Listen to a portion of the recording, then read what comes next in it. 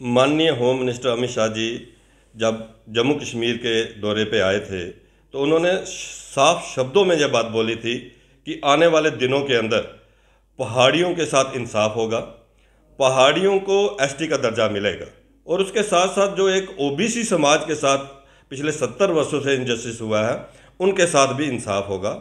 मैं आज ये कहना चाहूँगा कि आने वाले दिनों के अंदर जिस ढंग से गुज्जर समाज के साथ इंसाफ हुआ है, बेस्ट पाक रिफ्यूजीज़ के साथ इंसाफ हुआ है वाल्मीकि समाज और गोरखा समाज के साथ भी इंसाफ हुआ है, उसी तरीके से आने वाले दिनों के अंदर पहाड़ी समाज के जो लोग हैं, पहाड़ी कबीले के जो लोग हैं, जो अपनी एक तीस चालीस वर्षों से एक लड़ाई लड़ रहे हैं, आने वाले दिनों के अंदर बड़ी जल्दी ही उनको खुशखबरी मिलेगी और उनके साथ इंसाफ होगा। भारतीय जनता पार्टी कमिटेड है इस बात के लिए और ओबीसी समाज जो पूरे देश के अंदर ओबीसी समाज के लिए एक बड़ी रिजर्वेशन थी, जो जम्मू कश्मीर की नेशन कॉन्फ्रेंस कांग्रेस और पीडीपी ने कभी इनके साथ इंसाफ नहीं किया।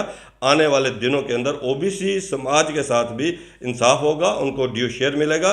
जो भी उनकी पॉपुलेशन के हिसाब से जो रिजर्वेशन बनती होगी, उनको रिजर्वेशन मिलेगी।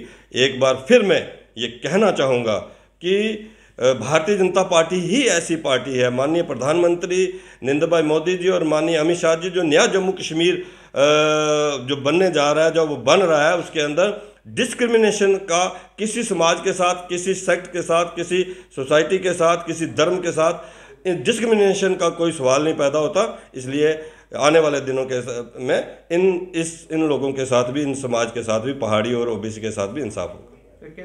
असेंबली सीट्स में भी कोई रिजर्वेशन के लिए सोच रहे हैं ओबीसी के लिए?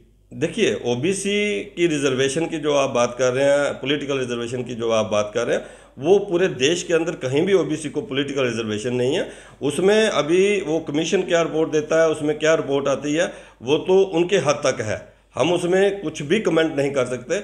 अलबत् जो रिजर्वेशन नौकरियों में और बाकी सारे में रिजर्वेशन पूरे देश के अंदर है, वो यहाँ भी जम्मू कश्मीर के अंदर भी मिलेगी।